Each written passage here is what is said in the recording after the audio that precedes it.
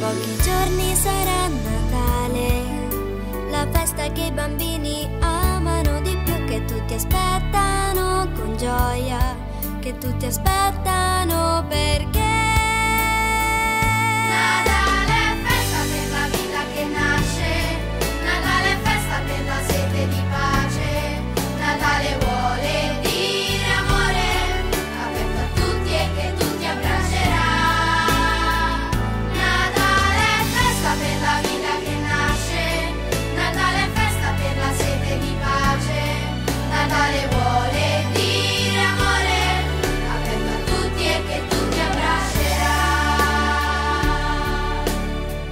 Amici e amiche di Televallassina, ben ritrovati.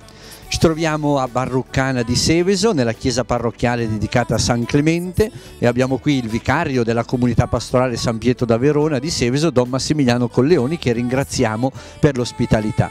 E siamo venuti anche quest'anno per vedere il presepio. L'anno scorso era su per aria, era sospeso, ecco, era volante, quest'anno è sceso, ma è particolare anche quest'anno, allora chiediamo a Don Massimiliano di spiegarcelo. Sì, come l'anno scorso il presepe volante indicava che il Natale veniva in mezzo a noi e noi siamo in mezzo al presepe, così quest'anno nel presepe abbiamo messo come statuine le foto dei bambini dell'oratorio, i bambini che hanno partecipato appunto alla preparazione del presepe, li abbiamo fatti vestire, li abbiamo fotografati e sono qui presenti nel presepe. Anche questo significa proprio che il Natale viene oggi in mezzo a noi. Non è semplicemente il ricordo di un fatto storico, ma il fatto che ogni anno Gesù viene nella nostra vita e porta la sua grazia, la sua benedizione e porta appunto tutto il bene che la presenza di Dio porta nella vita di ciascuno di noi. Ecco, poi ricordiamo che qui al posto della Santa Famiglia di solito c'è la sede da cui il sacerdote presiede, quindi anche questo è un bel segno, magari non è a norma liturgica, ma l'aver spostato la sede per lasciare posto al Signore per dire che comunque è Lui che deve presiedere l'amore e la vita di una comunità, non solo quella liturgica, ma quella appunto quella della vita quotidiana come questi bambini ci mostrano.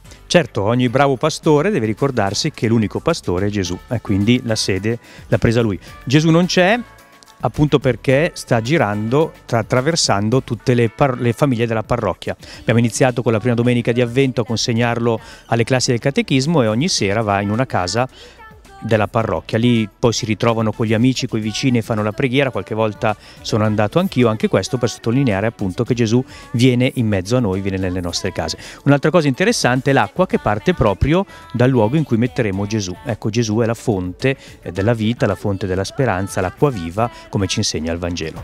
Ma se hai voglia di sperare, se tu vuoi ricominciare,